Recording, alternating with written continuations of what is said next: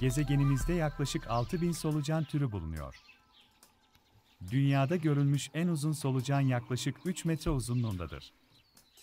Solucanların dişleri yoktur ve tavuklara benzer bir şekilde yiyeceklerini sindirmek için kuma ihtiyaç duyarlar.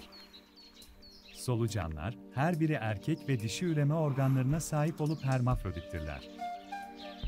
Bir yetişkin solucan 6 ay gibi kısa sürede 96 yavru solucan dünyaya getirebilir ve yavru solucanlar bir kozadan susam tohumu büyüklüğünde çıkarlar. Solucanlar gözleri olmasa da fotofobiktirler ve ışığa tepki verip ışıktan kaçmak için toprağa gömülürler. Solucanlar ciltlerinin her yerinden solunum yaparlar ve bu yüzden çok neme ihtiyaç duyarlar. Solucanlar birbirlerini genellikle gıdanın bol olduğu nemli koşullarda bulurlar. Koşullar yeterli olmadığı takdirde yavrularının hayatta kalamayacağı korkusuyla çoğalmayacaklardır.